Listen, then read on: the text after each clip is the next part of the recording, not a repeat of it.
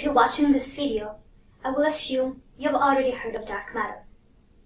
This concept first arose in the 1930s with the galaxy rotation problem. So how does the galaxy rotation problem come about? If you measure the mass of the galaxy, you can use two methods. You can either infer the mass of the galaxy by looking at the total brightness of the entire galaxy, or you can measure the velocity of stars, especially the ones located at the periphery of the galaxy. You would expect that measuring the mass of the same galaxy with two methods will give you the same result. And that is not what happens. This is very problematic. You see these two plots? They should overlap, but they clearly do not. By the end of this video, you will know why and what those two plots represent. In this other picture, we see an artistic representation of the Milky Way, our galaxy. The yellow arrow indicates our own location within the Milky Way. The galaxy has a spiral, barred shape, and it's very symmetric. Why don't we take a minute to derive what we expect to observe? We will end up with the relationship between the mass of the galaxy and the velocity of stars within the galaxy. We can refer back to the figure shown previously. The lower plot will match our derivation. High school physics is really all that you need.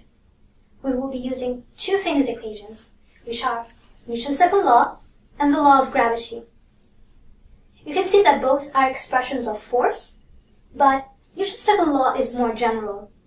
And so you can see what relationship must exist for any given force between the mass at which the force is applied and the acceleration subsequent to the application of this force. For the law of gravity, the force indicates the attraction between two bodies. Our two bodies of interest will be a star and the mass of the galaxy. And due to the principle of center of mass, we can approximate the mass of the galaxy as being located at the center of the galaxy itself.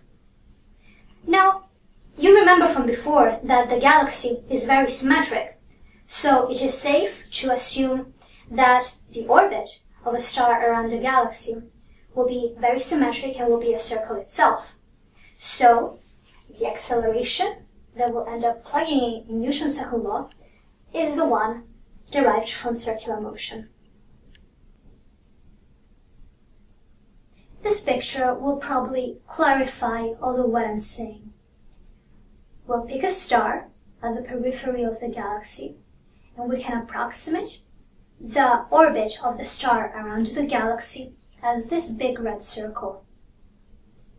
Then the straight line is the radius that connects the center of mass of the galaxy with the star itself. Going back to the equations, we realize that the force expressed by Newton's second law and the law of gravity are actually the same quantity. We've discussed why we need to use the acceleration for circular motion. So this is the quantity that we're going to plug in into F equals ma. Here we have the entire derivation. Newton's second law equals to law of gravity, and we simplify out both the mass of the star and one of the radii, and we finally obtain the relationship between the mass of the galaxy inside of the regions of the star and the velocity of the star itself. The star that we picked in the picture before was already at the periphery of the galaxy. But if we now consider a star a little further away than the previous one, we can see that the ring between these two orbits does contain some mass. But this mass is negligible compared to the mass of the entire galaxy. Therefore, it is safe to assume that the mass of the galaxy inside of circles for both of these stars should be more or less the same. The mass of the galaxy for the rest of this video will be taken as a constant. If the mass of the galaxy does not change, Also, this other side of the equation has to be a constant, as expressed right here. Now you see, there's another quantity which we have not discussed about that does not vary, which is g, the gravitational constant. Hence, we can extrapolate a relationship between the velocity of stars at the periphery, where the mass of the galaxy is constant, and their distance from the center of the galaxy. We finally have all the tools to understand the first picture. The galaxy is M33, and the graph represents its relative relationship between velocity and radius. Velocity is on the y-axis, and radius on the x-axis. The lower plot is inferred from total luminosity and is described by our derivation. The upper plot is measured from star velocities.